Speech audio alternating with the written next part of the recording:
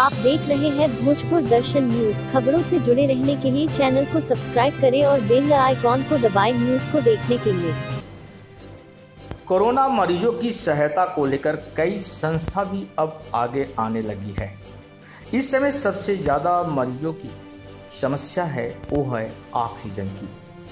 जिसमें कई कोरोना मरीज़ ऐसे हैं जो ऑक्सीजन को लेकर काफ़ी ही समस्या से जूझ रहे हैं।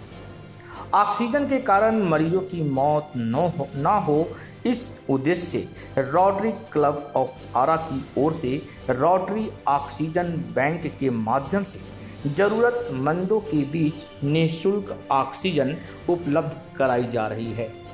कोरोना मरीजों के परिजन को ऑक्सीजन सिलेंडर देते हुए रोटरी क्लब के अध्यक्ष पंकज कुमार प्रभाकर ने कहा कि ऑक्सीजन की कोई कमी नहीं होने देंगे। महामारी में हम लोगों को पहले तो अपने घर में रहना है, दूसरा हम लोगों को गर्म पानी पीते रहना है, गर्म पानी का इस्तेमाल अवश्य करना है, भाप लेना नितान्त आवश्यक है। और थोड़ा सा अगर सूझबूझ के साथ काम किया जाए तो ये कोई बड़ी चीज़ नहीं है। अगर हम लोग गर्म पानी पीते हैं, भाप लेते हैं और हाथ धोते हैं थोड़ा सा डिस्टेंसिंग बना के रखते हैं मास्क का इस्तेमाल करते हैं, इतना ही काफ़ी है भाई हम लोगों के लिए, इससे ज़्यादा का ज़रूरत नहीं